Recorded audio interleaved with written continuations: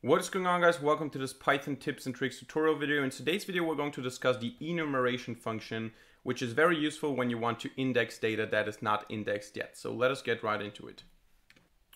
Alright, so we're going to explain the concept of enumeration directly by using it. Let's say we have a list of names or objects or whatever.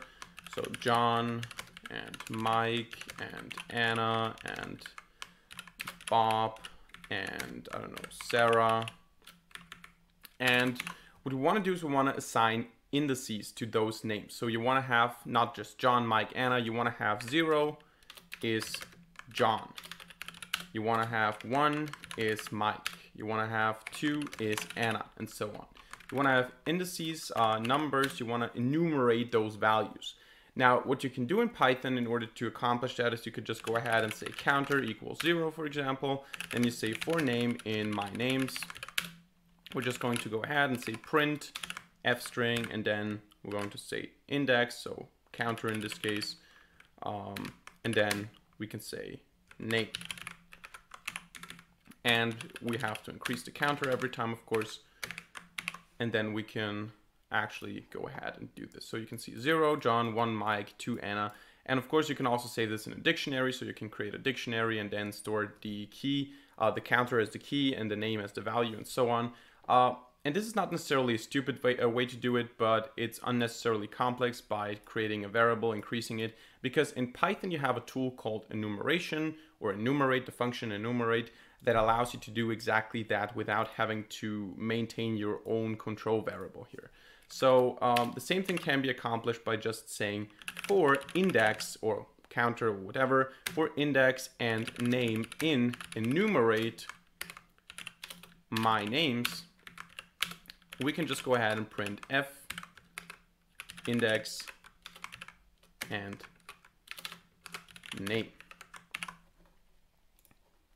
And you'll see that the result is the exact same because the enumerate uh, the enumerate method what is what it does is it takes the collection and assigns an index to all the values. So we can get rid of this here and actually also get rid of this here.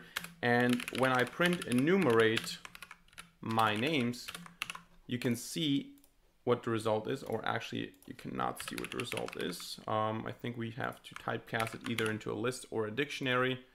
Uh, list is enough. As you can see, we get zero John, we get tuples of a number and a name. We get zero John, one Mike, and so on, because that is what enumerate does. It creates a list of tuples. Now, instead of just having the names, we have a number and a name. We have a a, a, key value pair, so to say. I'm not sure if we can just go ahead and typecast it into a dictionary. Uh, yeah, it's possible, as you can see. So zero is John, one Mike. And that's uh, the more practical way to enumerate values in Python instead of doing, doing it manually.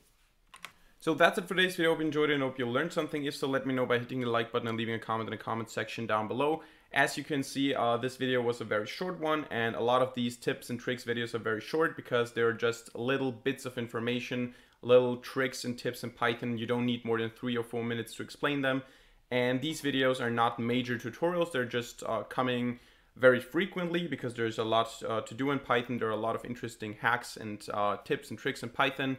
And because of that, this series is coming quite frequently and you can uh, build your Python expertise step by step by using those tricks and tips. So if you enjoyed this series, let me know by uh, hitting the like button, leaving a comment in the comment section down below. Of course, subscribe to this channel if you haven't done it yet. And other than that, thank you very much for watching. See you in the next video and bye.